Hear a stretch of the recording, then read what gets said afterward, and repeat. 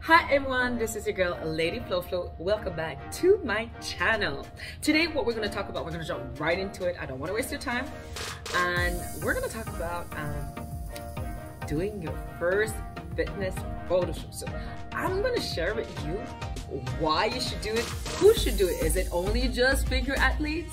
I mean like um, contest preps athletes or bodybuilding athletes? No, everyone should do it. Of course, me and I'm going to tell you um, when you should do it, um, how to do it, and when. So make sure you listen to the end. At the end, I'm going to give you the most important tip.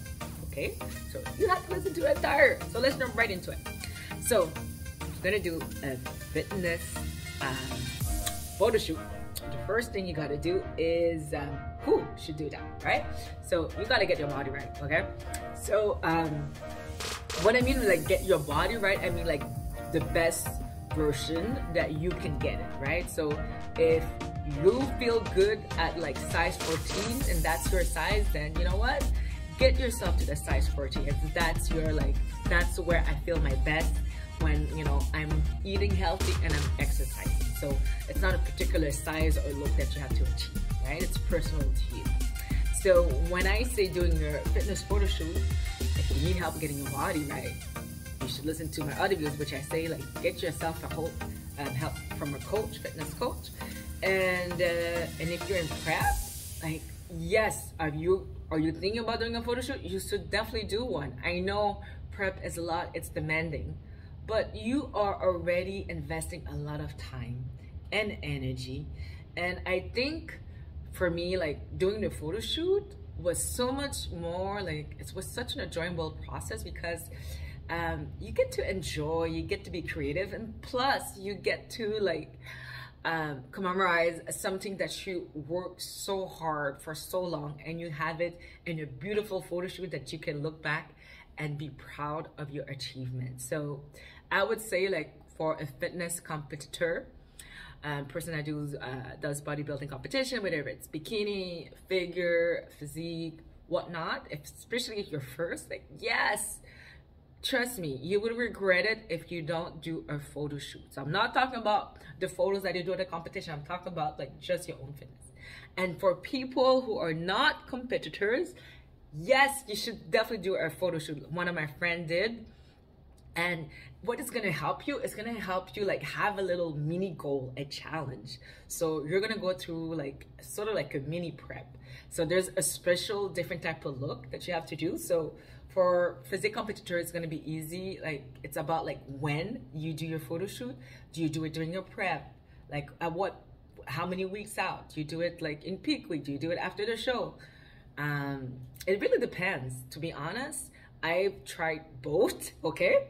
So some people say it's too stress stressful during prep so i prefer doing after um, if you decide to do that, I would say like definitely do it like the day after the competition um, at earliest. Um, just because you never really know what's gonna happen post show, how your body gonna react, how your hormones gonna be. So your body could look completely different it did during prep, and you are gonna have you're going to miss that window.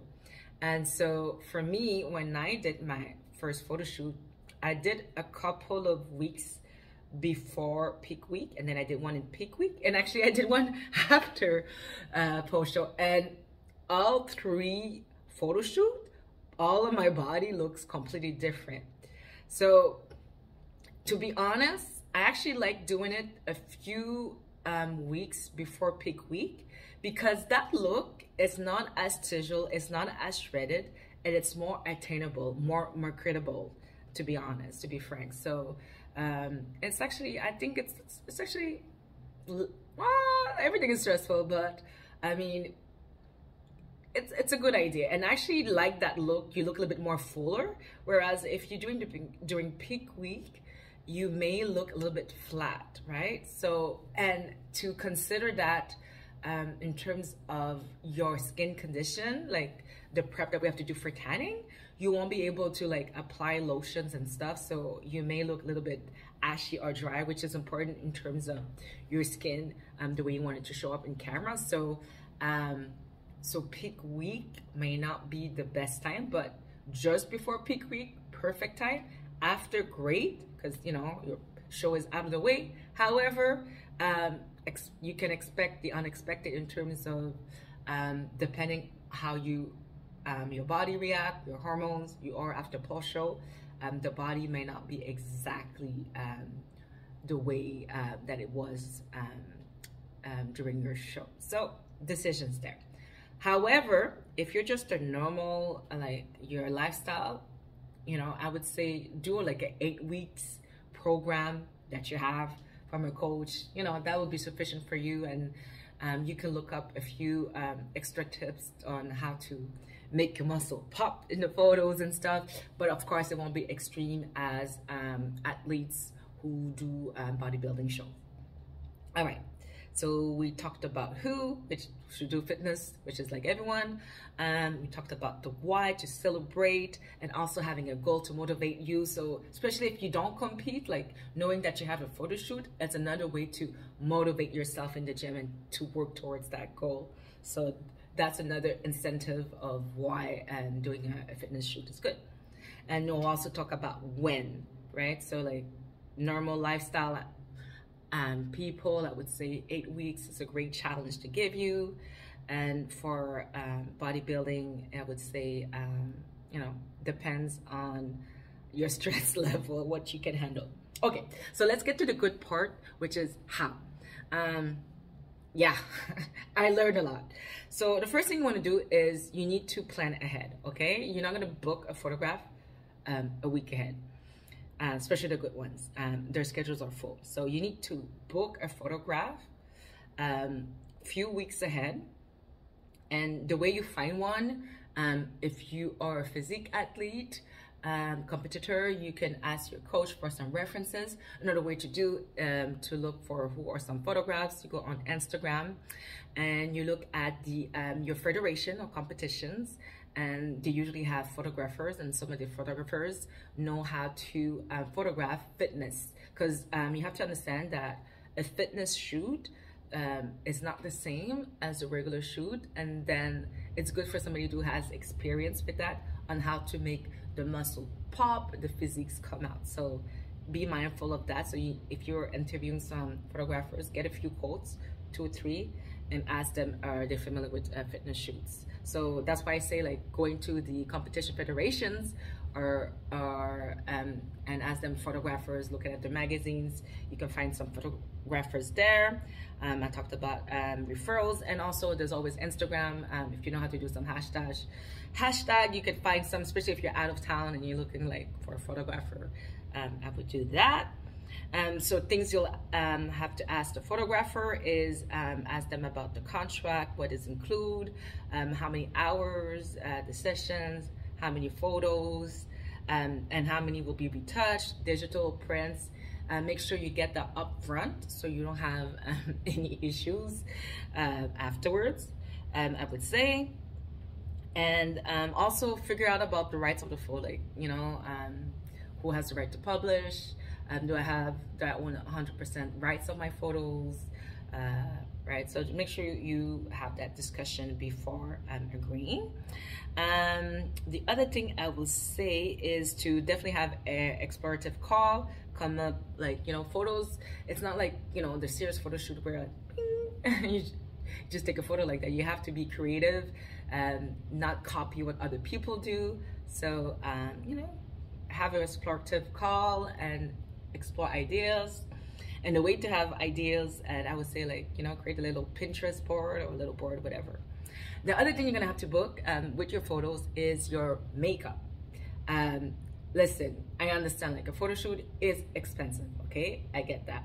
But if you're gonna spend that amount of money on a photo shoot and not get your makeup done, like it doesn't make sense, okay? So invest on your makeup being done by a professional for a professional photo shoot. Make sense? So um, usually uh, photographers um, have some makeup artists that they work with. So you can ask them for referral, ask for price. Um, you can also ask, um, another way to find some makeup artists is, you know, on Instagram, hashtags, ask your friends, um, especially like for dark skinned um, people such as myself like you want to make sure that they know how to um, do your type of skin or if you're different um, cultural background you know you can always inquire and ask these questions.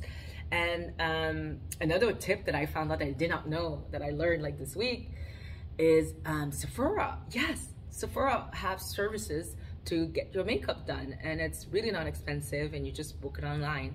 So that's another option and you know they have lots of products there. So um, that's another way um, for you to get your makeup done. And so once you book the photograph events um, you book the makeup too because you know the two dates have to be on the same day right make sure make sure when you book your makeup is um, a few hours because um, getting your makeup done professionally can take like I would say 60 to 90 minutes. So keep that in mind in terms of timing for your photo shoot. So um, they coincide and, you know, so make sure to keep that in mind. Now you have to find a style, what you're gonna do, um, outfits. Um, I think that I have a pretty good sense of style, but if you don't, get some help. Like we all have this friend or someone that we know on Instagram that they stylists and, and they're stylists and they will really like if you ask them hey like I'm doing a photo shoot um, I have a few ideas I would like to bounce with you like do you mind helping me out and they would trust me really appreciate you asking them for the help. I did that and like I, she was really amazing. So don't be afraid to reach out to people who have a great sense of style and they can ask you and then obviously like you'll tag them um, once you um, you know give them credits um, for helping you out. And um, oh yeah that's important too like talk about like credits too like um, some photographers like they want you to always like uh, give them credits when you put your photo out or something like I don't mind if you want so make sure that it's understood of in terms of the credits stuff and like I said who the photo belongs to um the other thing I talked about uh, the the style. Um, when you do a photo shoot, fitness photo shoot, you want to like come prepared. Um, not don't have just one outfit because like on the day of, like what you had in mind may not match with the environment, the background. So you want to have make sure you have your options. Like bring your suitcase, okay? Like bring your suitcase with you know two or three outfits, and I would say um, you know, you want to show your physique. So like you can definitely do like a swimsuit. It could be one piece, two piece. You can do like just workout garments. you can have some shorts. So like have some options that you can work with and if you change your mind and that's fine, right? And you can bring some um, some props. It's, I think it's important to have some props. So don't forget to bring yours so it actually look like a photo shoot, like a fitness photo shoot, not just like a posing fitness photo shoot with props, fitness props. Um, that's a great things to bring. I said bring a little suitcase with your stuff. Um, and make sure that um, if it's a few weeks out that you bring whatever you need to oil your body or great cream so that makes a difference in the camera and if you need inspiration, I would say um, look at Pinterest. Another thing that's important is um, when doing fitness photo shoots, and it's another hard part, is the posing. Practice your posing. Um, there's some people um, on Instagram that teaches you how to pose on camera. You can also find on on Pinterest. I would say like um, come prepare with a few poses um, that you know would work well with your body and that you would feel confident in right so um, so that's for style and so the last point I want to finish with on is once you do your photo shoot you're very happy you can do ask them to do like behind the scenes this is fun to do that so you can put any new stories on Instagram if you're on that. If not it's no big deal. Um, but I know we're excited and we want to post our photos right away on social media. I would say like if you really love your photos and you want to get them published like wherever, um, not just saying in magazines, like whoever wants to use your prints and you want to sell them, do not publish them if that's your intention. Because um, you won't be able, um, they won't accept knows that. So if you publish your photos. Um, basically, they've been seen elsewhere and they're not considered like unique products, so you cannot, um, you know, publisher or whoever is wants your photos, you cannot sell them because you published them. Just keep that in mind. All right, that was it. So that was my tips on how to do your first photo shoot. And if those tips were helpful and if you need more information, let me know. All right, peace out. Thank you for watching.